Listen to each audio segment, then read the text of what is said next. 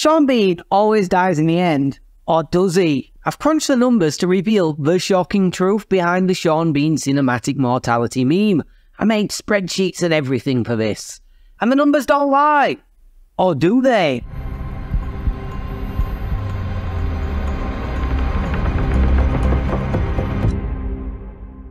Having run the math through several formulas, there is a 39% chance Sean Bean dies in the end. That figure, however, deserves a deeper dive and explanation because it comes with a lot of caveats. Sean Bean has died a total of 35 times since his debut in 1984. As I write this, it's 2024, so that's exactly 40 years of dying on screen. That's one on-screen death every 1.14 years. What a wonderful array of death's dirty work it is, too. I guess, run the Sean Bean montage of death. Sped up for brevity's sake.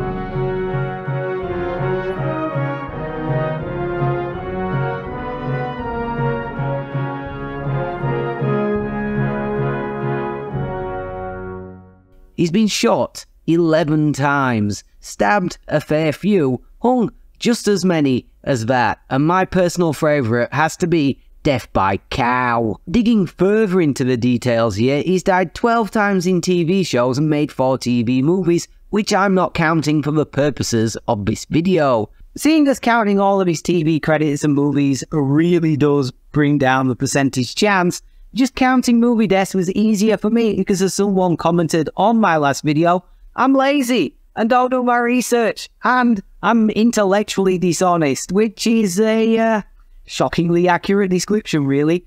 But less about me and more about Sean Bean dying.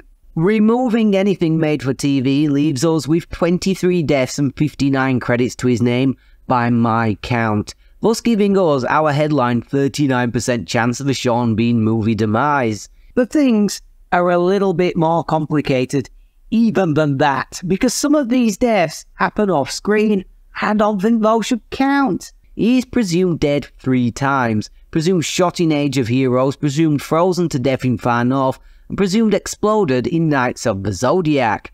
Getting rid of these leaves us with a 34% chance Sean Bean definitely kicks the bucket in any movie you watch him in. He also has a confirmed off-screen death in Dark River, reducing this further to 32%. Adding to the above issues is that in Silent Hill Revelation, he dies in a dream and actually survives the film, which again, I don't think counts. Final Fantasy XV is a CGI animated movie, so again, doesn't really count in my book reducing our number of on-screen movie deaths to 17 and giving us a final definitive percentage chance of seeing a Sean Bean on-screen movie demise at 29%. Ah, there's yet another complication, however, because at some point around 2011, Sean started to say no to dying.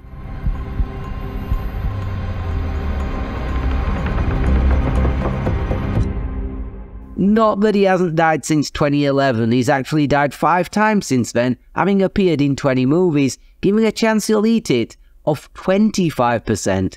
However, one of those is off screen and one is a dream, so that brings the chance of death paying an on screen visit down to 15%.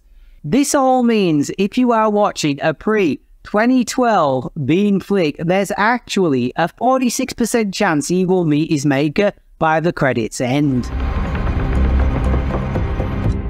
But even that figure isn't above 50%. So where exactly does the meme come from?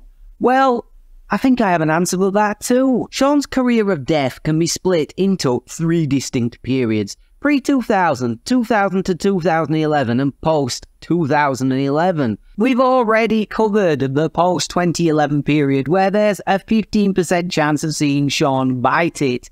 So let's look at his earlier career first. Between 1984 and 1999, he appeared in 16 movies, of which he survived 10, for a chance of a Sean Bean death scene of 38%. The period between the years 2000 and 2011, however, is where he appeared in his best known films, and well, he dies a lot in these, making 21 appearances on screen and ending up 6 feet under in a remarkable 12 of them, for a 57% chance of Sean Bean catastrophe. Hell, between 2000 and 2002, he did 5 movies and didn't make the end in 4 of them, only managing to survive in Tom and Thomas, a British family film I've never heard of. So, I think that's exactly where the meme comes from. At one point in time, the chances were everything you saw on Sean Bean, he probably died.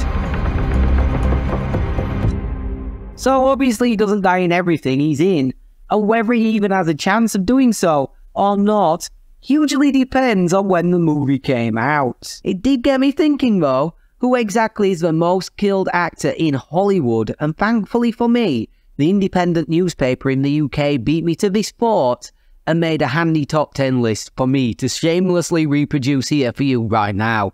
You might notice Sean doesn't even make the top 10 with Danny Trejo being the master of the on-screen demise with a frankly ludicrous 65 deaths way back in 2020, which he's almost certainly added to by now. I'm just way too lazy to check. Thanks for watching, like or dislike as you please, and if you did enjoy it and want to see more, comment and subscribe.